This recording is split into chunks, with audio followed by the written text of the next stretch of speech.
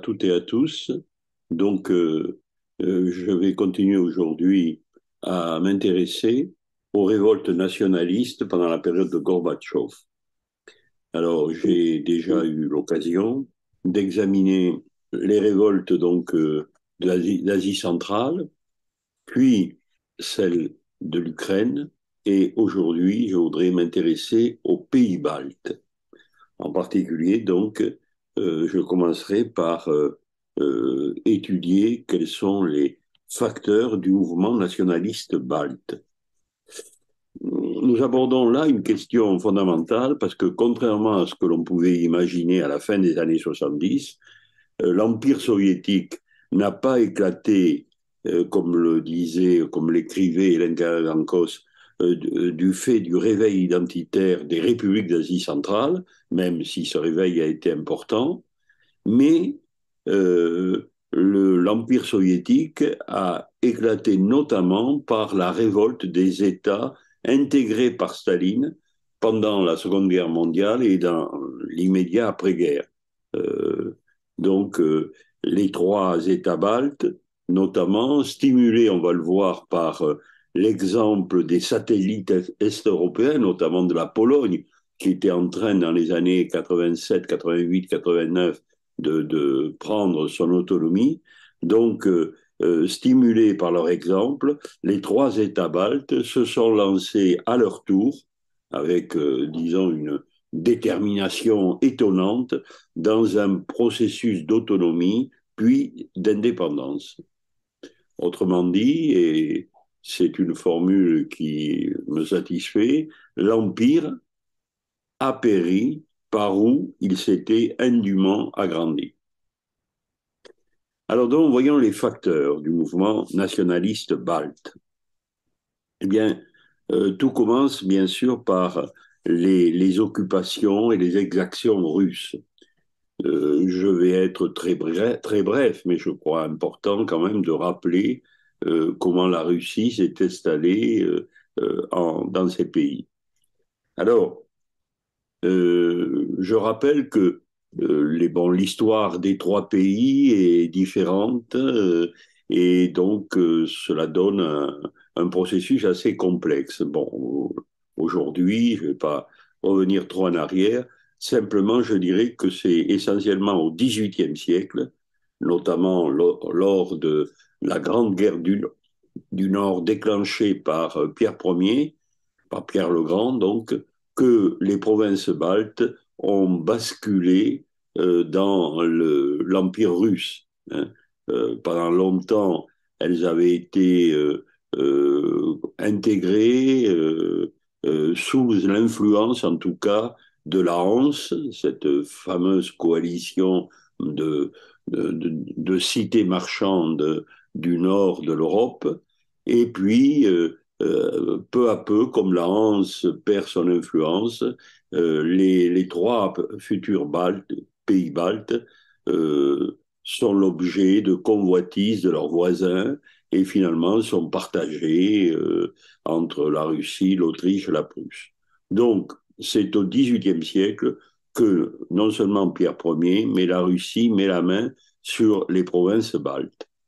De telle sorte que quand on regarde euh, l'Empire russe, une carte de l'Empire russe, par exemple euh, à la veille de la guerre de 14, peu importe la date, on s'aperçoit que l'Empire russe a totalement intégré ses territoires, qu'il n'y a pas pays baltes, il y a balte écrit dessus, polonais, finlandais, euh, on ne parle plus des pays baltes, ils font partie désormais de l'Empire russe. Mais pas pour longtemps, puisque euh, après un siècle, euh, donc plus d'un siècle, un siècle et demi, deux siècles parfois, euh, d'occupation russe, les trois pays vont connaître leur indépendance, et cela en 1918. Alors l'histoire de ces trois pays pendant le premier conflit mondial est une histoire très complexe. Euh, les Allemands, au début de la guerre, envahissent une partie des pays baltes, donc sans rendre maître. Euh, la Russie occupe une autre partie, euh, et après, Euh, il y a donc la révolution évidemment bolchevique qui se produit en 1917, qui complique beaucoup les choses, mais finalement, et j'ai le sentiment d'être très sommaire, euh, finalement c'est en 1918 que les trois pays baltes déclarent leur indépendance. Euh, d'abord la Lituanie en février du 18, puis l'Estonie un peu plus, quelques jours plus tard, et enfin quelques mois plus tard la Lettonie au mois de novembre 1918. Donc c'est en 18 que les trois pays deviennent indépendants. Et euh, malheureusement pour eux, euh, au mois de juillet 1940, euh, après euh, une entente avec l'Allemagne, sur laquelle je vais revenir dans un instant, les trois pays baltes perdent leur indépendance en juillet 1940 et euh, Staline et la Russie s'en emparent et vont les intégrer quelques années plus tard dans l'Union soviétique. Donc l'indépendance des pays baltes a été relativement brève hein, sur, de 1918 à 1940. Alors, à l'époque où nous nous plaçons, c'est-à-dire donc euh, après la Seconde Guerre mondiale, après euh, pendant la période même de Khrouchtchev, de Brezhnev, euh, les tensions sont vives entre les trois pays baltes et les soviétiques. il y a en effet toute une série de griefs qui empoisonnent les relations. Alors, le premier grief qu'on peut citer, c'est le refus obstiné du Kremlin de ne pas divulguer euh, les circonstances exactes par lesquelles Staline a mis la main sur les trois États euh, à partir donc de 1939-1940. Euh, c'est interdit d'en parler. Hein. Le, pacte germano-soviétique est présenté comme un, un, disons, un simple euh, pacte, un judicieux, pacte euh, euh, entre deux puissances voisines, ce qui aurait permis à la Russie de préparer le pays à la riposte. pas un mot des accords secrets qui incluaient, à la suite de ce pacte du mois d'août, pas un mot n'est dit des accords secrets, incluant l'Estonie et la Lettonie dans la zone d'influence. Parce que le pacte germano-soviétique, donc, euh, qui est signé euh, euh, le 23 août, est suivi dans le plus grand secret d'un d'accord entre la Russie et l'Allemagne qui prévoit notamment que toute cette bande en rose, là sur la carte de gauche, la Finlande, l'Estonie, la Lettonie et une partie de la Pologne puis de la Bessarabie seront euh, du domaine, dans le domaine d'influence de la Russie, ce qui veut dire que la Russie pourra en faire ce qu'elle veut. Hein. Et quelques jours plus tard, au mois de septembre, la Lituanie est intégrée donc dans cette zone d'influence euh, de la Russie. Eh bien, tous ces articles essentiels, euh, ce, marchandage honteux est soigneusement tu pendant toute la période d'après-guerre. Euh, il faudra attendre 1979 pour qu'un groupe d'intellectuels euh, qui se réclament d'un mouvement démocratique balte demande ouvertement que la Russie dénonce les accords Molotov-Ribbentrop de 1939 et surtout leur protocole secret. Un autre silence euh, blesse les populations.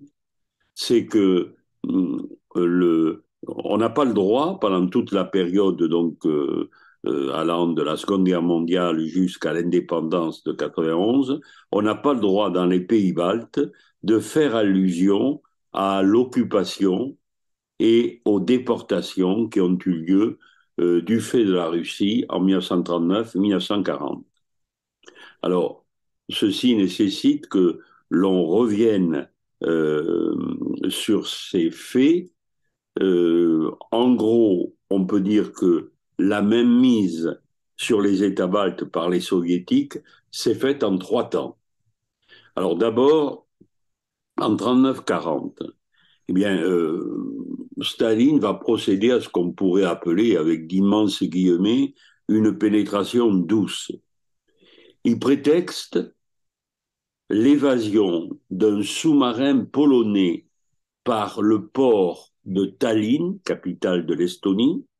Donc, il prétexte, je dis bien, l'évasion de ce sous-marin polonais par le port de Tallinn pour ordonner à l'armée rouge de faire le blocus euh, de l'Estonie. Et euh, dans la foulée, il va obliger les autorités estoniennes à signer un pacte d'assistance mutuelle avec l'URSS. Puis, euh, Staline continue sa, marche.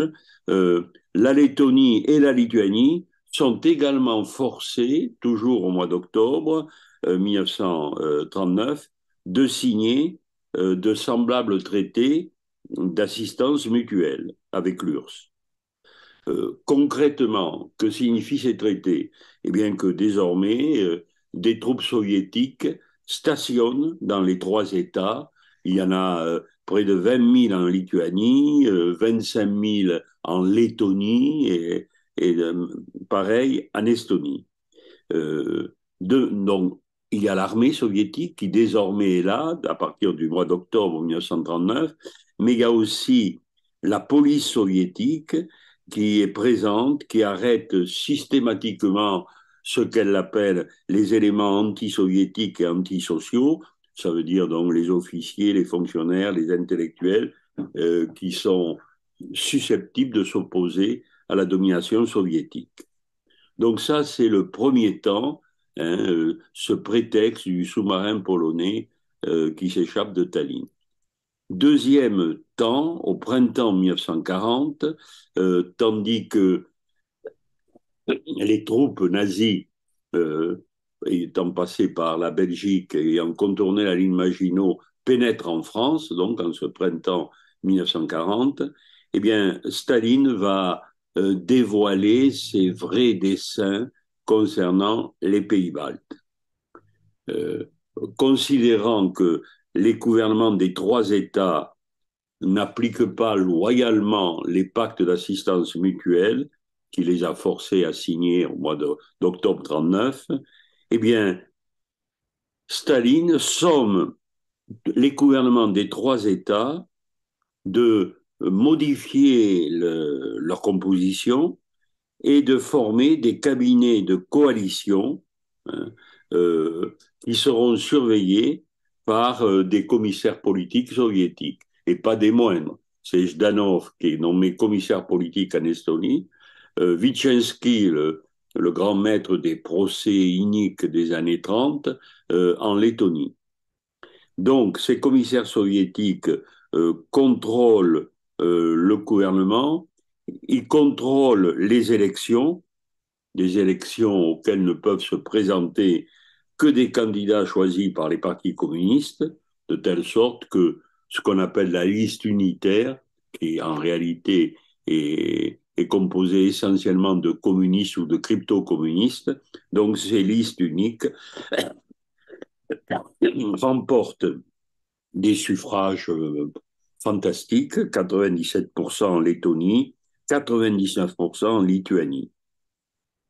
Et dès le mois de juillet 1940, les trois parlements des pays baltes, les trois diètes qu'on appelle, décident à l'unanimité euh, de proclamer euh, leur pays République socialiste soviétique et de solliciter leur admission dans l'Union soviétique.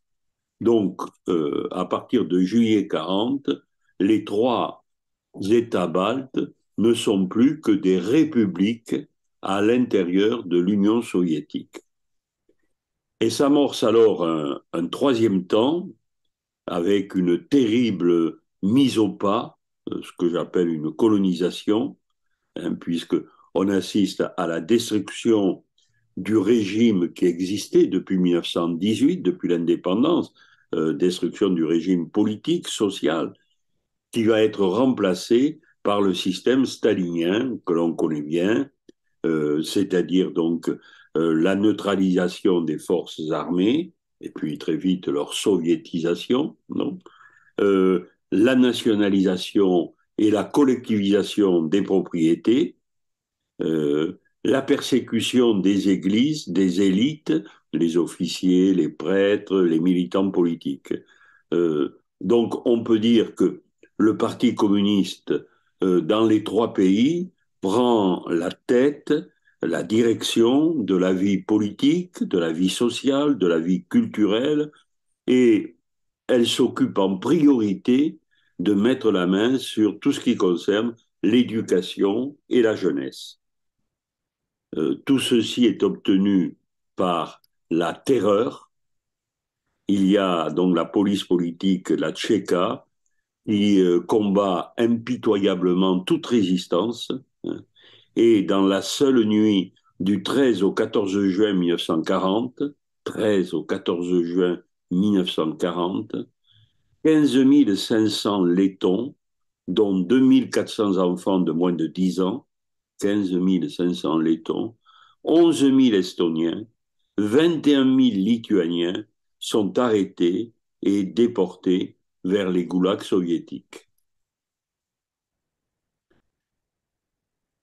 Euh, aujourd'hui, si vous avez la bonne idée de visiter ces pays, euh, vous pourrez euh, voir les, comment dirais-je, vous pourrez voir avec quel soin les Baltes entretiennent la mémoire de ces terribles années.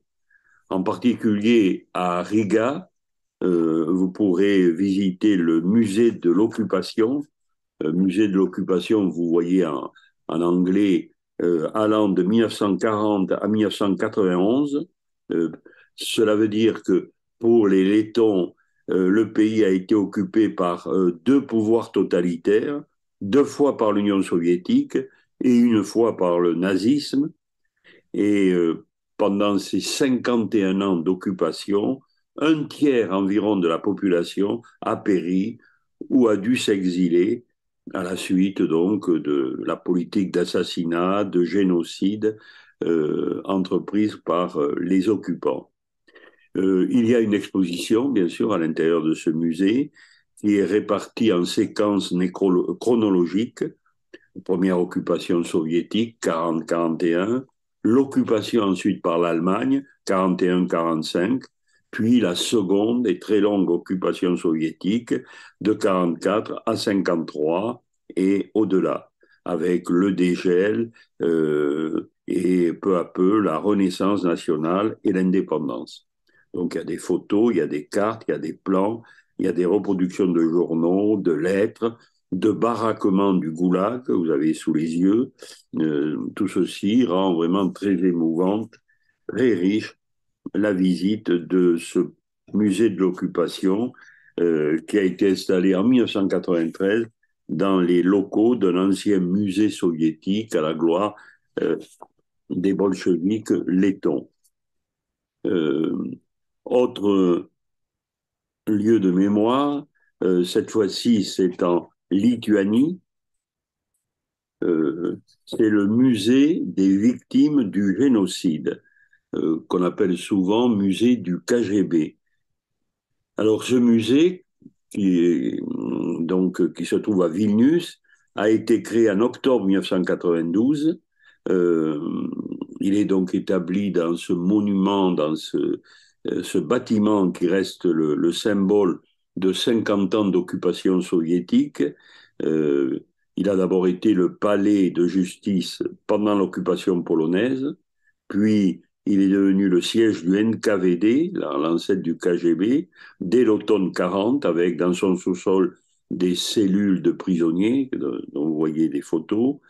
Euh, et ensuite, la Gestapo s'y est établie de 41 à 44 et euh, à nouveau le KGB de 44 à 91.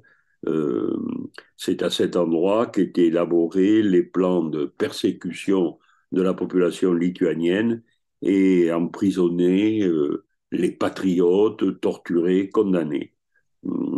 Alors l'objet de ce musée est de collecter, de préserver, de rechercher et de promouvoir la documentation matérielle qui révèle les formes et les méthodes de la répression culturelle et du génocide physique de la nation lituanienne exécuté par le régime soviétique ainsi que la résistance à l'occupation.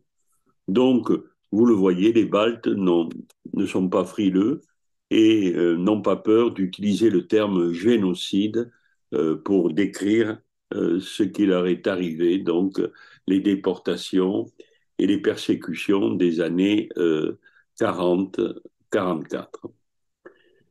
Troisième grief qui, empoisonne les relations entre le Kremlin, entre Moscou et les capitales baltes, c'est que euh, les, populations baltes reprochent aux soviétiques d'occulter ou d'instrumentaliser à leur guise l'histoire des trois nations. En effet, pendant l'occupation soviétique, c'est-à-dire donc entre 1939, 40 et 91, euh, il est interdit de célébrer quoi que ce soit concernant l'indépendance de 1918. Euh, Moscou ordonne de détruire les monuments qui sont liés aux guerres de 18-1920, mais aussi tous les monuments qui célèbrent les gloires nationales. Alors, ce, cette entreprise, disons, de liquidation des mémoires nationales se double d'un combat insidieux contre les langues locales. Alors, sur cette carte, il y a non seulement les langues vivantes, comme le letton, le lituanien, mais ce qu'on peut appeler les langues éteintes. Donc, je parle évidemment des langues encore vivantes, il vaudrait mieux dire moribondes, à l'époque soviétique les soviétiques font brûler un maximum d'ouvrages écrits en balte. Euh, tout est calculé dans les règlements des écoles et des universités pour que le russe devienne la langue prééminente. Euh, Brezhnev a une action importante à ce sujet et durant la période euh, à laquelle il est à la tête de l'URSS, la langue russe est en augmentation constante dans les pays baltes. Autre grief, c'est le pillage économique, le saccage environnemental dont se rend coupable l'Union soviétique dans les trois pays. Je m'explique. D'abord, on peut regretter que l'URSS ait imposé un modèle de développement. Ce modèle de développement, comme dans tous les pays que l'URSS occupe, est orienté vers les industries lourdes.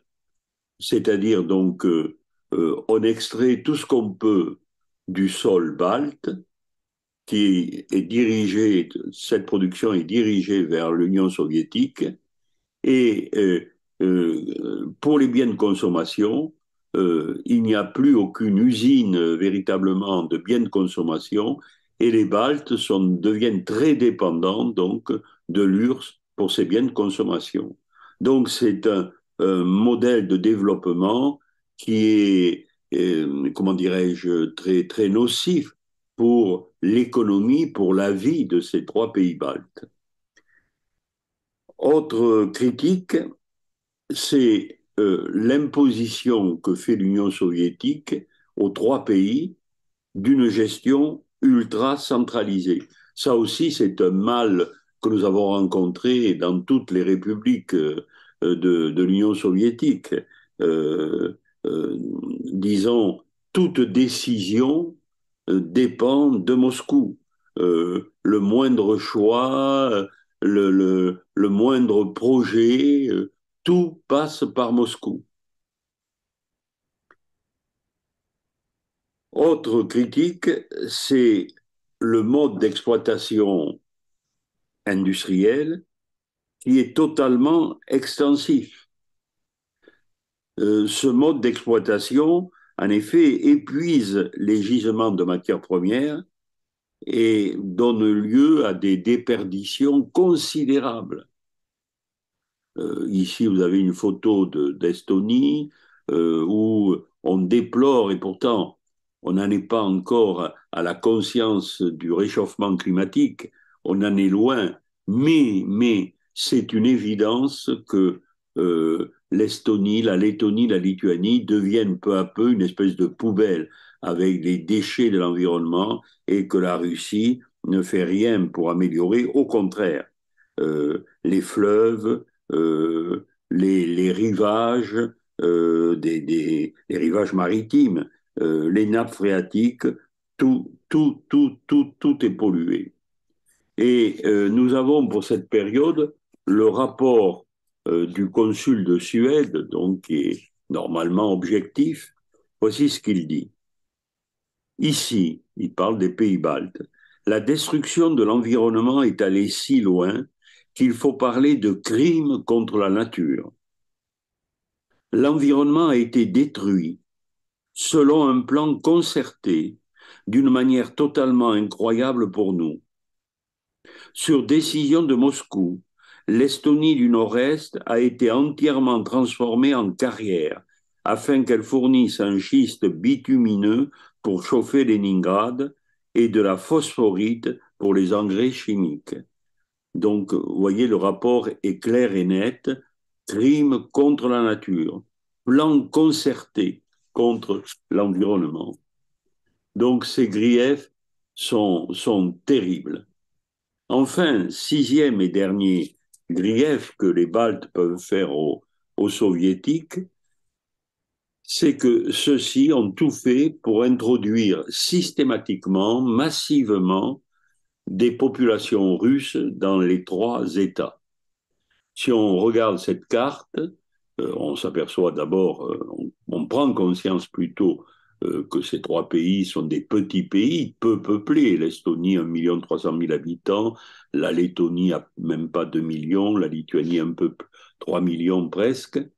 Mais deuxième, euh, deuxième observation, c'est que euh, on voit qu'il y a beaucoup de zones marron foncé qui indiquent qu'il y a plus de 40 euh, de Russes qui habitent dans ces zones.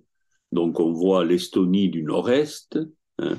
on voit aussi en Lettonie toute la zone autour de la capitale Riga, les zones côtières. En Lituanie, le mal est moindre. Donc, euh, euh, Riga, par exemple, euh, en 1978, n'abrite plus que 38% de lettons, le reste de la population étant russophone. Donc, le, on aboutit peu à peu non pas à un brassage de population, mais à, à, des enclaves qui sont faites, à des, espèces de ghettos euh, formés par euh, les minorités russes. Et bien entendu, euh, tout ceci va peser considérablement sur l'avenir de ces pays et sur les projets des Russes. Alors, je vous donne là juste les dernières statistiques. Actuellement, hein, les minorités russes représentent encore le quart de la population en Estonie, le quart aussi en Lettonie et beaucoup moins en Lituanie. Alors, après donc avoir brièvement euh, énuméré quels sont les, les euh, comment dirais-je, euh, les facteurs du mouvement nationaliste concernant les différents griefs, je voudrais revenir également en arrière pour montrer que quel a été le, disons, le, le le, comportement, le, euh, les, euh, les, comment les mentalités des, des Baltes hein, ont fluctué au gré des différents gouvernements euh, de l'Union soviétique. Alors, il y a eu un moment d'espoir dans les pays baltes lorsque Khrouchtchev donc est arrivé au pouvoir, donc à la mort de Staline en 1953. Et pendant quelques années, euh, euh, les, les trois républiques baltes sont, espèrent, espèrent des changements importants. Euh, par exemple, dans le fait que euh, Khrouchtchev flétrit publiquement le stalinisme. Bon, c'est le sens du 20e congrès de 1956. Euh, que Khrouchtchev engage, au moins à cette époque-là, euh, des réformes, euh, disons, à finalité décentralisatrice. Hein. Malheureusement, dès 1959, Khrouchtchev interrompt cette poussée réformatrice et on revient en arrière. On revient même en arrière, c'est un grand tournant avec Brezhnev. Hein. Brezhnev, sous des dehors de vieux pépés tranquilles, est acharné dans la lutte contre les cultures nationales. Il veut imposer une culture unique, la culture soviétique. Euh, et euh, j'ai un extrait sous les yeux où il constate avec satisfaction que les cultures nationales prises ensemble constituent une culture unique par son contenu socialiste, inspirée par la grandeur de l'édification communiste, pénétrée du souci du bonheur et de la prospérité de notre grande patrie multinationale. C'est-à-dire, en gros, il n'y a plus qu'une culture désormais, c'est clair et net en Union soviétique, c'est euh, la culture soviétique. Et on peut dire que avec euh, Brezhnev, euh, on assiste à une perte de confiance envers le communisme, une perte totale, définitive.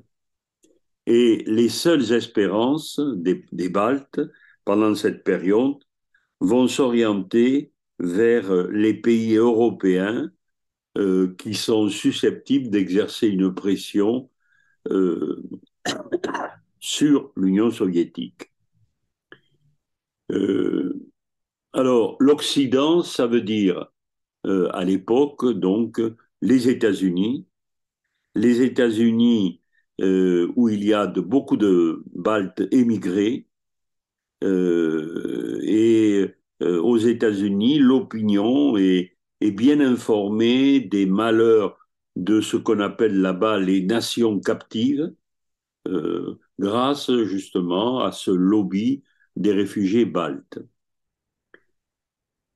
L'Occident, c'est bien sûr l'Europe occidentale, qui, euh, par le biais de l'Assemblée consultative du Conseil de l'Europe, euh, qui depuis 1954 l'Assemblée vote des résolutions qui demandent la restauration de l'indépendance des nations de l'autre côté du rideau de fer. Donc cette Assemblée consultative du Conseil de l'Europe, elle est très militante en faveur des nations captives. Et puis, il y a, à partir de 1975, euh, tous les États européens qui ont signé l'acte d'Helsinki, qui prévoit, j'en ai déjà parlé bien sûr, la libre circulation des idées et des personnes dans toute l'Europe. Par conséquent, qui euh, devrait aider à desserrer la dictature euh, soviétique sur euh, tous les pays qu'elle domine, notamment les pays baltes. Mais ce qui va, euh, comment dirais-je, tout modifier dans les mentalités baltes, c'est l'arrivée de Gorbatchev, euh, qui va donner l'espoir d'un changement euh, à partir de ces deux notions qu'il martèle, la perestroïka, c'est-à-dire la restructuration,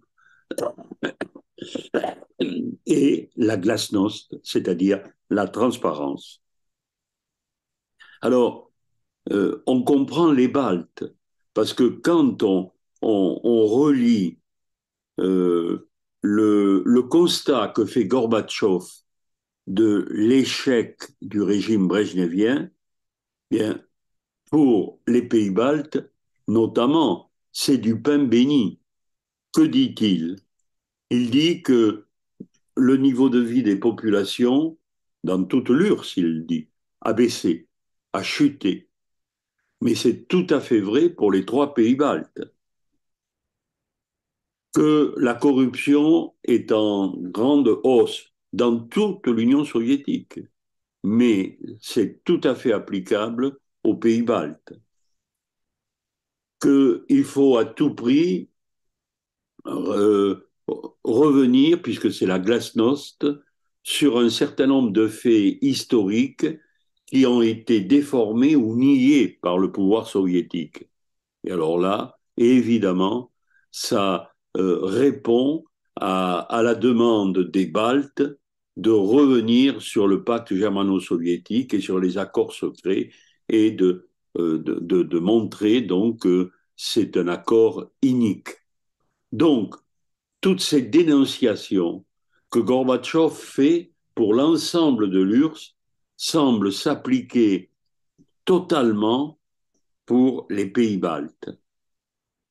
De même, quand Gorbatchev déclare à toutes les populations du pays qu'il faut désormais s'investir dans des grandes causes apolitiques comme le pacifisme, j'ai oublié le i, ou l'écologie.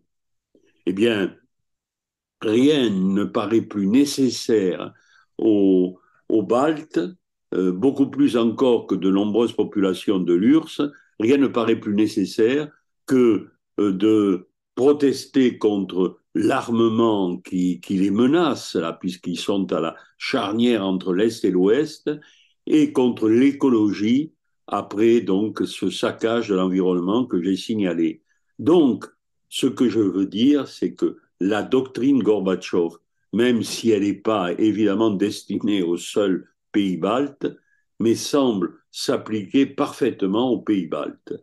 Donc, on peut dire que même si Gorbatchev euh, n'aborde pas directement euh, la question des nationalismes, la perestroïka et la glasnost vont servir de catalyseurs. D'un seul coup, elles vont libérer des forces qui n'osaient pas s'exprimer et elles vont les mobiliser sur l'idée de réforme dans les pays baltes, de transparence dans l'histoire des pays baltes. Donc, le, le, mouvement euh, impulsé par Gorbatchev à partir des années 85 et surtout 86, 87, 88 est fondamental pour l'éveil euh, du nationalisme balte. Alors voyons maintenant les acteurs euh, de ce mouvement nationaliste. Alors, le réveil euh, va se produire de la manière suivante. D'abord, tout ne commence pas avec la période de Gorbatchev. La société balte, sans être en révolution, en effervescence, elle est quand même travaillée très tôt par euh, des idées, disons, sinon de dissidence, du moins d'autonomie, et d'amélioration donc de tout ce qui concerne la culture. Alors, on peut parler d'une précocité de la dissidence dans les pays baltes, puisque euh, dès le milieu de la décennie 1970, c'est-à-dire en gros autour des années 1965, il y a une partie des populations baltes, en majorité des intellectuels, des croyants, parce que le, religieux va être très important. Donc une partie des populations baltes ose interpeller les autorités soviétiques, les autorités de Moscou, en lançant des appels, des lettres ouvertes euh, à propos du non-respect euh, des droits de l'homme. Euh, cette minorité fait circuler des journaux clandestins qu'on appelle des samizdat, crée aussi des comités de défense, des accords d'Helsinki. Donc, n'exagérons pas ce, mouvement. Il ne concerne qu'une extrême minorité, essentiellement, je le répète, d'intellectuels. Mais il est incontestable que ce mouvement euh, fait boule de neige à partir des années 65. Un autre facteur va influencer beaucoup les, le, le mouvement balte, le mouvement nationaliste balte, c'est le printemps de Prague. Printemps de Prague, donc ça se passe en Tchécoslovaquie, lorsque Dubček, donc un communiste réformateur, propose à son pays de euh, construire un nouveau socialisme, un socialisme à visage humain. Et vous le savez, l'expérience ne dure que quelques mois, et au mois d'août 1968, les chars du pacte de Varsovie, menés par les soviétiques, entrent à Prague et mettent fin au printemps. Alors on pourrait se dire tout de même, Prague, la Tchécoslovaquie, c'est très loin des pays baltes.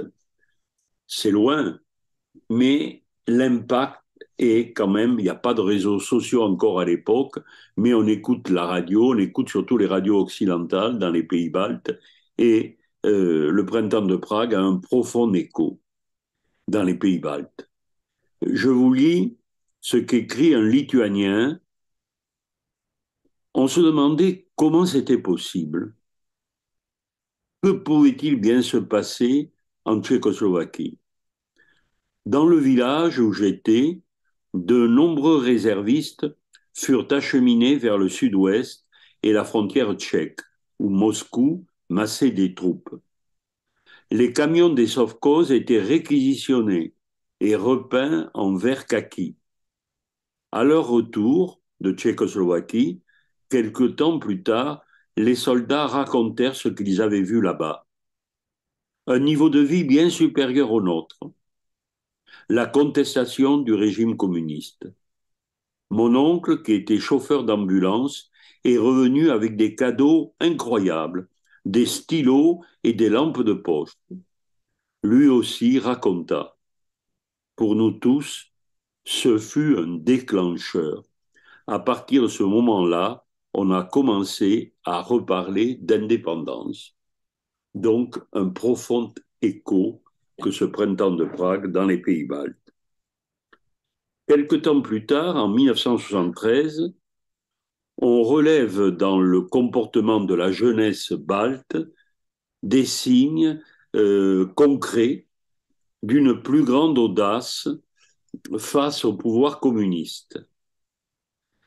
Alors, à l'occasion notamment de fêtes très populaires dans les pays baltes depuis euh, le XIXe siècle, des fêtes qu'on appelle les fêtes du chant, euh, où se rassemblent des chorales, des musiciens, euh, jusque-là, évidemment, les autorités contrôlaient très bien et toléraient donc ces rassemblements.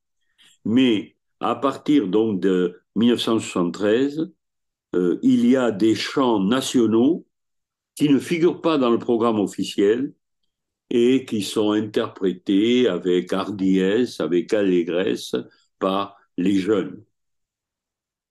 Et euh, on arrive notamment à cette époque à un très grand rassemblement euh, euh, à Riga où le chant va euh, être l'un des véhicules du sentiment identitaire. Je dirais que les nouvelles générations, bien qu'elles soient nées, bien qu'elles aient été formées sous le régime communiste, n'en ont pas moins la fibre nationaliste dans les pays baltes. Dans les familles, euh, dans euh, les lieux de culte, on a soigneusement entretenu la fibre nationaliste. Alors, c'est ainsi que, par exemple, euh, lors d'un match de foot entre la Russie et la Lituanie, des bagarres opposent des jeunes et entre les deux nationalités euh, à Vilnius. Ça se passe donc en octobre 1977. Un exemple. Euh, à l'automne 1980, euh, il y a des manifestations d'opposition à l'extension de la langue russe dans les programmes scolaires. Et là aussi, la jeunesse y participe activement, courageusement. audacieusement. On signale également une multiplication euh, des affrontements violents entre jeunes Estoniens et jeunes Russes, au point que la milice, dans les années 1980, c'est-à-dire la police, hein, doit renforcer ses unités en Estonie euh, pour euh, faire front aux batailles entre bandes de jeunes. Donc, il y a là incontestablement, sinon une agitation, elle n'est pas continue, elle n'est pas chronique, mais elle est de plus en plus audacieuse. Et on peut parler donc de précocité. Second facteur qui euh, montre et qui active le réveil de la société balte, c'est le soutien des États-Unis. Il ne faut surtout pas minimiser euh, ce, ce, facteur. Aux États-Unis, donc, vivent des, je l'ai dit tout à l'heure, des communautés d'émigrés baltes qui sont très actives. Nous sommes, euh, pendant les deux mandats de Ronald Reagan, qui donc est élu président en janvier 81 et le restera sous deux mandats jusqu'en janvier 89. Et euh, c'est essentiel. Euh, je l'ai déjà dit, le rôle de Ronald Reagan est majeur dans l'implosion du système soviétique. Et euh, Ronald Reagan agit notamment par l'intermédiaire des, populations baltes. Euh, je, vais citer quelques manifestations euh, qui se déroulent en général aux États-Unis euh, sous l'action des Baltes émigrés. en 1982, le 14 juin, le 14 juin, c'est le jour anniversaire des déportations massives de 1940. Eh bien, le 14 juin est déclaré Baltic Freedom Day, c'est-à-dire jour de la liberté balte. Ça donne l'occasion à Reagan de souhaiter que les populations baltes bénéficient un jour du droit à l'autodétermination. C'est considérable qu'un président des États-Unis ose s'immiscer ainsi hein, euh, dans la, cause nationaliste euh, d'un euh, d'un peuple euh, qui est en, principe intégré à l'Union soviétique. Grâce aux diplomates américains, euh, les délégués de la Fédération mondiale des Baltes libres, c'est une, association qui a été créée, donc grâce aux diplomates américains, les délégués de cette fédération sont invités aux conférences euh, à Belgrade, à Madrid, à Ottawa, à Budapest, euh, aux conférences qui sont chargées de vérifier l'application des accords d'Helsinki. Signalons aussi le soutien des Américains du tribunal balte. Le, tribunal balte a pour fonction de condamner les méfaits de l'Union soviétique à l'égard des États baltes. Donc, euh, devant ce tribunal euh, comparaissent des témoins, euh, de, des témoins, disons, de méfaits des soviétiques, des témoins formés de, de dissidents qui eux aussi donc peuvent donner leur, leur, point de vue.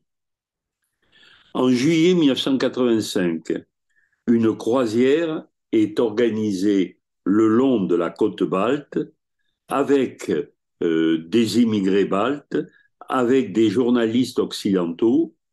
Et le but de la croisière, évidemment, c'est de sensibiliser l'opinion mondiale aux problèmes des trois républiques. Je citerai enfin, en 1986, euh, lors d'une conférence sur les relations entre les États-Unis et l'Union soviétique, le conseiller du président Reagan réaffirme que les États-Unis ne reconnaîtront jamais l'incorporation forcée des États baltes par l'URSS.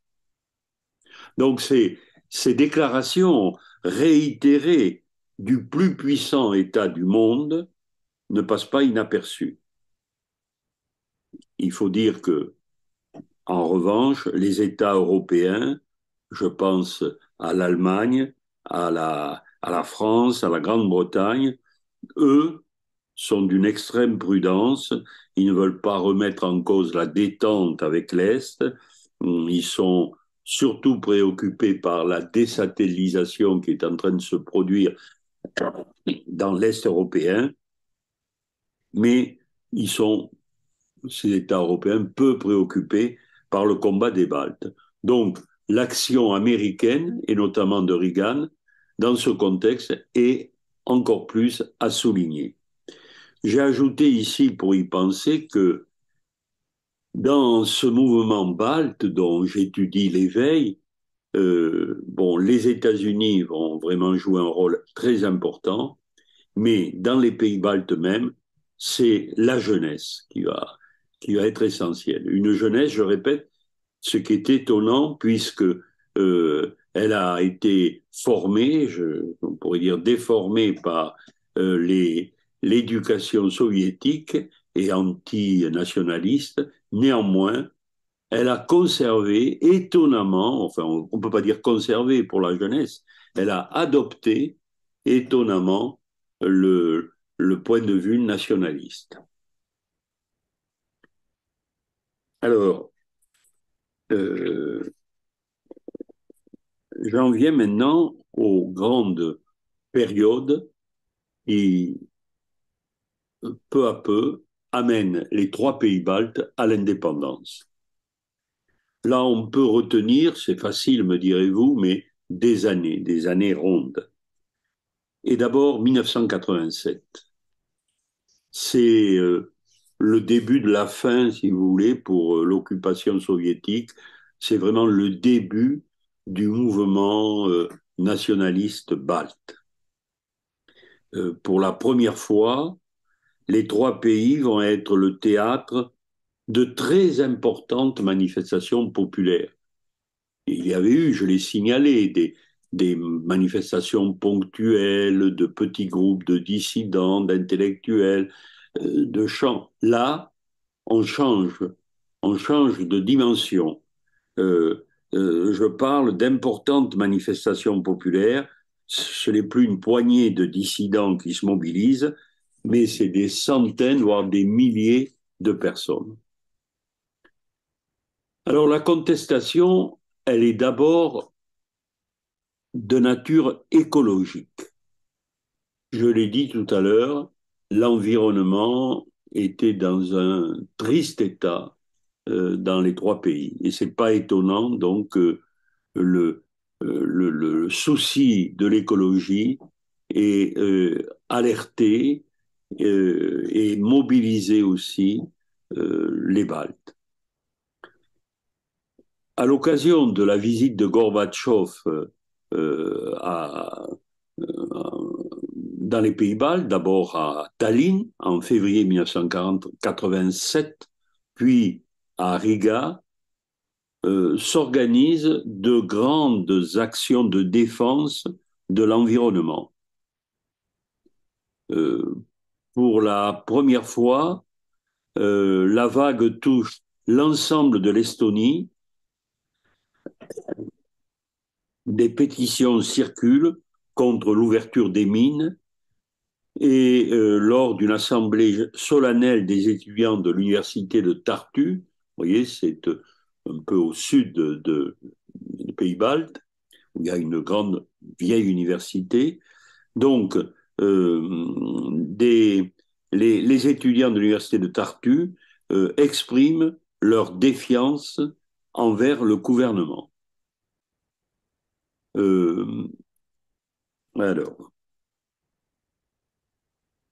Ensuite, toujours dans le même sens, là, ce que je viens de dire concerne l'Estonie, mais on assiste en Lettonie à un vaste mouvement de protestation contre l'édification d'un barrage hydroélectrique sur la rivière Daugava. On en parle depuis longtemps. Et là, on profite de la visite de Gorbatchev pour demander l'arrêt de, euh, la construction du barrage qui euh, détruit euh, une grande partie de détruirait une grande partie de l'environnement. Alors, Gorbatchev, bien sûr, est quand même gêné.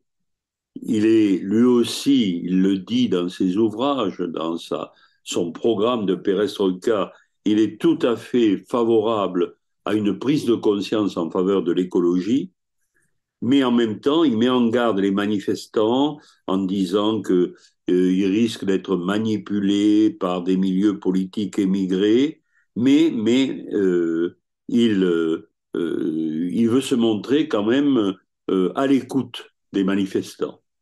Et neuf mois plus tard, on apprendra que le Conseil des ministres de l'URSS a décidé d'arrêter la construction du barrage. Donc c'est une victoire importante euh, de la part des, nationalistes baltes.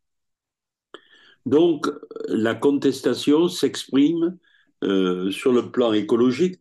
Euh, c'est d'autant plus, si vous voulez, facile que ce n'est pas politique à proprement parler. Donc les associations de défense du barrage, par exemple, ne peuvent pas être considérées par les autorités soviétiques comme des partis politiques.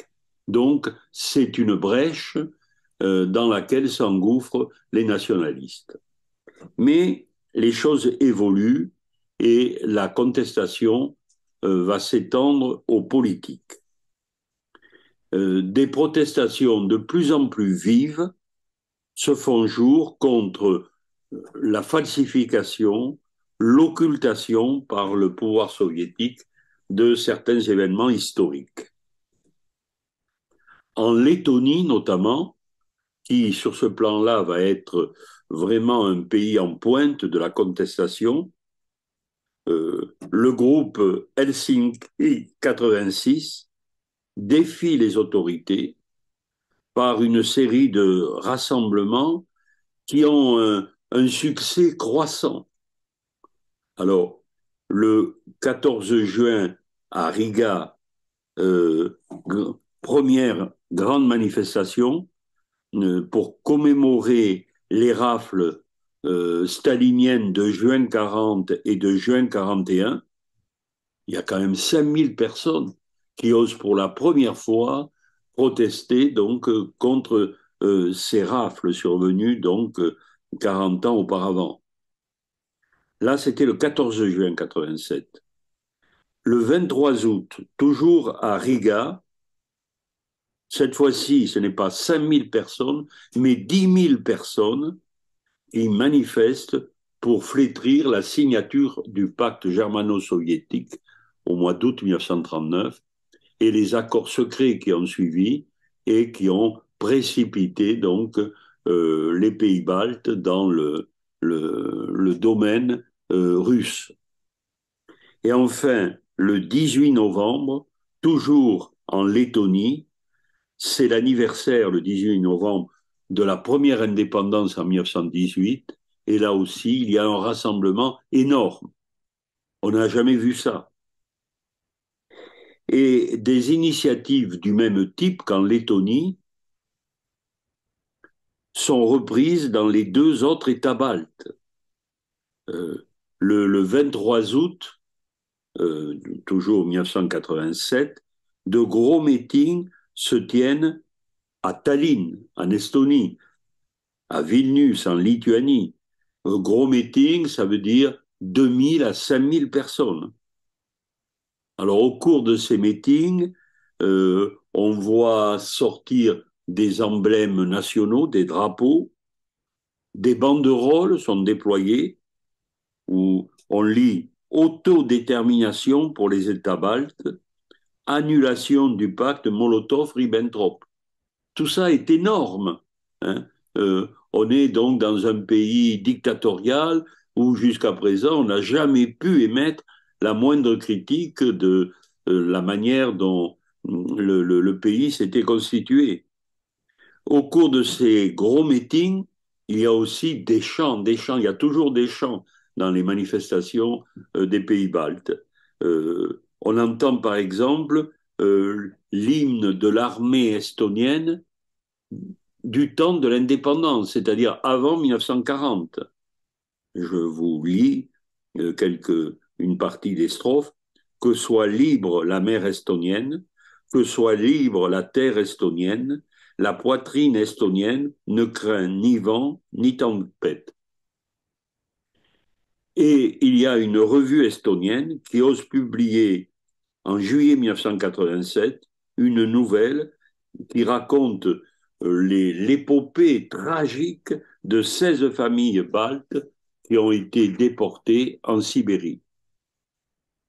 Après, une autre revue estonienne fait paraître un article sur les méfaits du stalinisme.